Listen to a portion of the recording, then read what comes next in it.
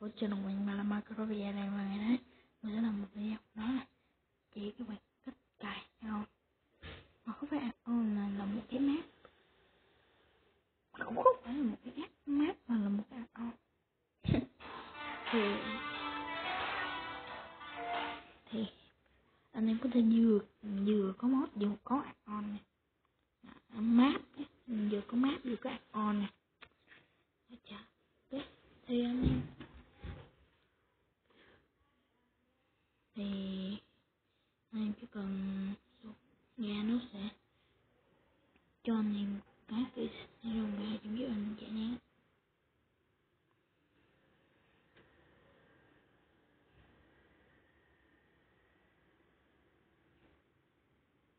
Yeah. Thì anh em giải nén xong nó có một cái thôi thì tôi giải nén xong rồi tùy cho anh em nhìn cho anh em dễ hiểu không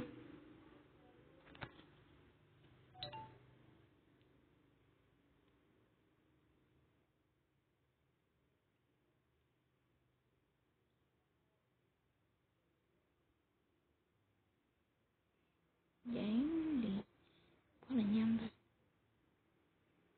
nếu bạn nào yếu thì giải nén lâu nha.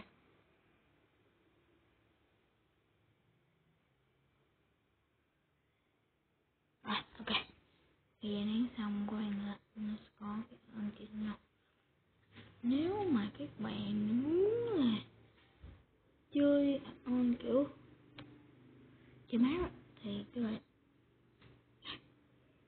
các bạn tắt cái này đó rồi các bạn vào con game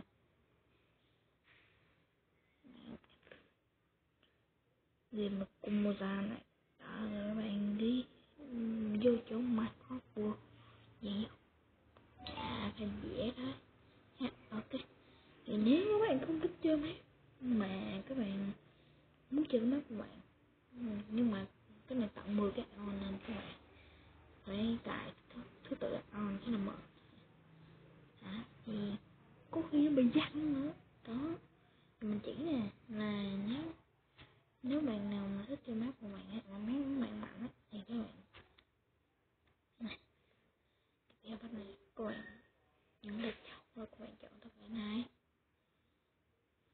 cắt cắt hay ghép cũng được này mình thích cắt cắt nghe nó phê hơn không thích sao ghép nè sao ghép nghe sao sao nó quá nhẹ này dù ừ, bị sao bắt thì anh dán như bị sao bắt đó rồi sao bị sao bắt thì anh dán như bị sao bắt ok. Thì thôi tôi làm cho anh em dễ biết à.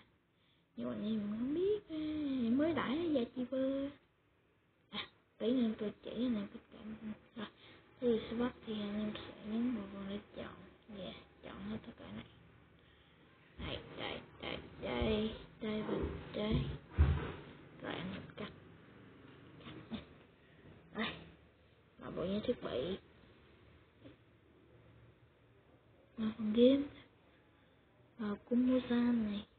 Rồi rồi spot mà. Đây dễ rồi. Đó. Vậy thì anh em sẽ phải tải thiết từ add-on cho là Ừ, đôi di chuyển nhưng mà phá càng dễ thì cái à, ô, này sẽ có rất là nhiều ốt à, có nhiều công trình luôn ha. Để, thì link cái video review mình sẽ để ở phần mô tả bye.